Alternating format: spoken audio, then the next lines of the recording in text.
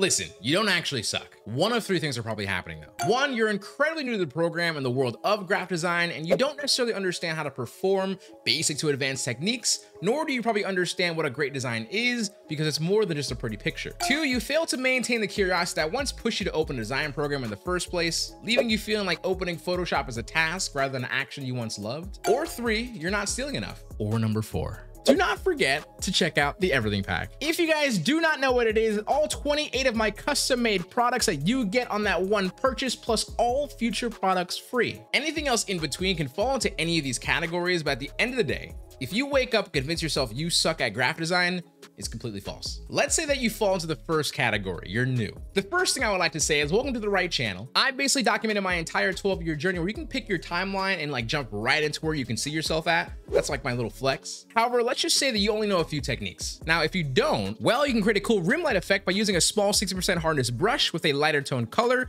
and use the edge of the brush to create your first line. Then use a 30% hardness brush with a darker tone color you choose, blend mode on linear dodge add, and paint the edges again. Then use a 0% hardness brush with an even darker tone color and make your brush really big to use the edge of it to create the environment rim light. Or to create easy compositions you can build off every single time, use a condensed font. That's not a font name, that's a style. Write a word in a nice color scheme background and text color. Add your picture or subject centered filled about 40% of the space. Then use textures or even words, also known as type texture, to write small context clues to the design and give it a cool feeling. Or going into camera raw filter under the filter tab and clicking this button right here to show before and after. Then mess with the blacks, lights, shadows, and under effects, play with the texture and clarity in order to create a simple color correction base. Or taking text, combining them into a smart object, adding 10 Gaussian blur, 7 radial blur, then going to your adjustments down below and choosing threshold for a simple distress text effect. Look, if any of you said like, damn, I didn't know that, well, maybe you fall into this category and why you actually suck at design. That sounds worse than it should have. Past knowing how to create a good design is understanding what the purpose of the design is and did you achieve it successfully? Let's say it was about promoting an item. Was that item big enough? Is there even like a CTA or a click to action to even know how to get there? Things like that. What's the tone supposed to be?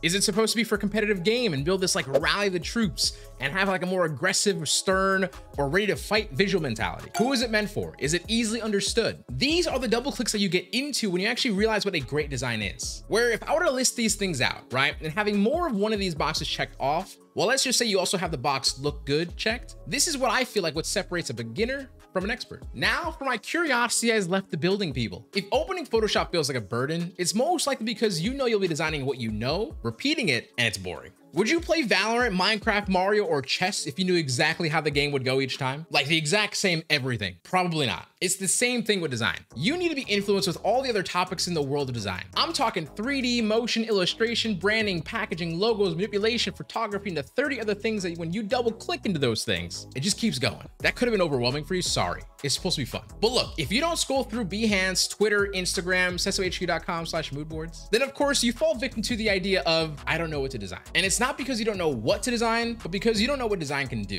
And realizing all it takes to learn a technique is opening the program with enough inspired ideas enough times. Then you'll start feeling like you can't wait to design. But hold on, there is a such thing as design block, right? Or just not having the urge some days. That's okay. It's normal. And it's also healthy to step away for a few hours, days, and sometimes weeks at a time. You can trust me on that. And now for number three, you just suck at stealing. So being a beginner around social media, you'll hear things like, you copied this guy. It looks like this. I feel like I've seen this before. Those kind of comments. If you haven't got those, then you haven't even, even gotten remotely close to the starting design yet, okay? I mean, maybe for the ones who at least show it on social media. But the reason is because you didn't steal like an artist. You stole like a bitch.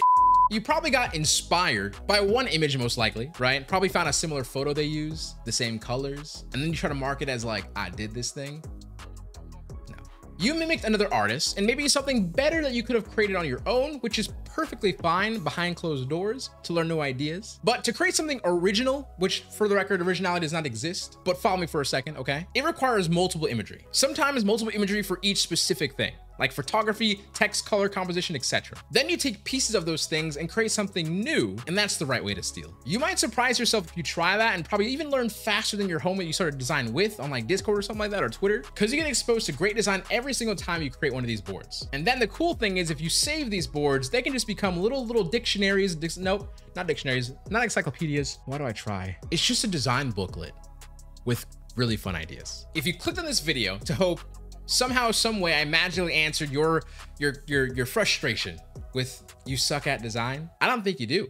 I really don't. Like I said before, you haven't tried it for long enough and stuck with it because it just takes some damn time. You're just not curious enough, which is just, it's just a little fault. Just go open Behance or something. And then three, you just again suck at stealing. After you exit this video, and it's just like a tiny bit quiet and you just hear like the humming of your PC and you're wondering, what did I just watch? Just take comfort in the fact that I think you're doing a fantastic job and being great just takes some time. If you guys for some reason have not picked up the everything pack, be sure to check it out. It's over here, all that good stuff. Seso HQ out. Never forget to keep smiling, stay positive, and stay freaking proud guys that much love. Peace. Enjoy your day. And uh, yeah, you don't suck.